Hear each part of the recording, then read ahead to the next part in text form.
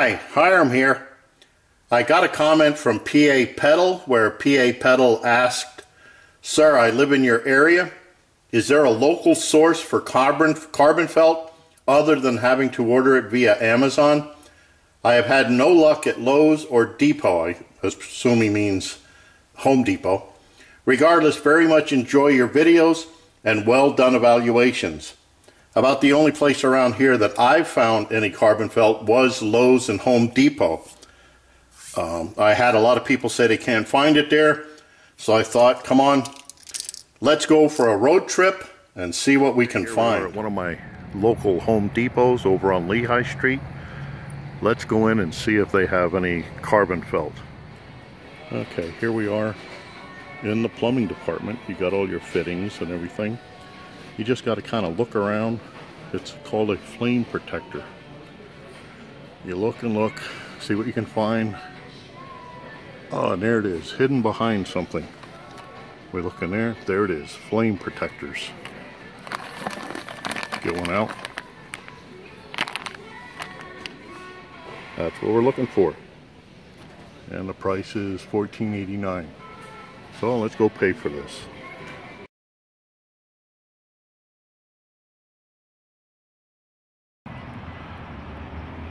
So here we are at my local Lowe's.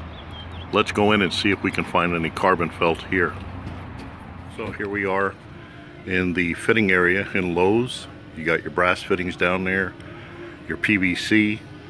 Then you get into the area where they have the soldering stuff, solder, glue, stuff like that. And up here, they have the little protectors at 17.98. You'd think that this is where it would be. It's with the soldering stuff. And this is Lowe's. Okay, so now we're back from Home Depot and Lowe's. I bought this one. I bought one of the packages that I found at Home Depot. And that's the, I don't know how you say this, either Ote or Oat A flame protector. They usually, like I showed you in the little trips there, they usually have them in whatever area they have their soldering tools and stuff. Because a lot of times this is used for protecting woodwork when you go to do soldering.